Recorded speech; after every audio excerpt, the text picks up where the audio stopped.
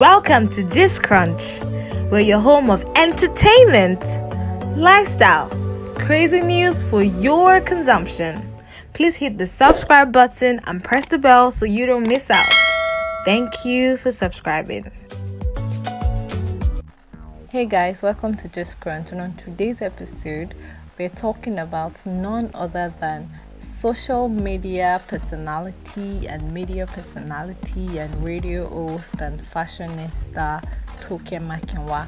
Toke Makinwa was in the news recently when it was alleged that Amcon was going to take over a house which was bought by a quote unquote sugar daddy Festus Fadeyi, but then that rumor was said to rest. Anyway, she's back in the news when she posted on her Instagram page that cash is a love language.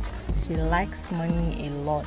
And if you want to move to her or if you want to date her, you have to have money or send her money basically.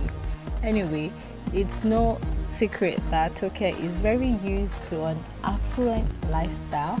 She likes luxury, she flaunts her wealth, um, what she has it anyway.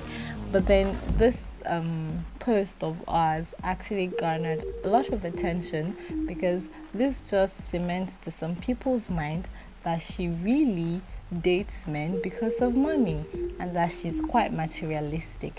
Anyway, guys, what do you think about this Toke Makinwa story? Are you also like Toke Makinwa? Is your love language money too? The Holy Spirit is affirming me. I don't need your affirmation. I need your cash. Okay? So please, this is my mood 2020. As people have already said it, spread the message and spread the law. Cash is my love language. Oh. Please don't be coming to tell me quality time, um, words of affirmation. I already think I'm great. Thank you. Quality time, I can spend time with myself. I have a party with myself in my head all the time.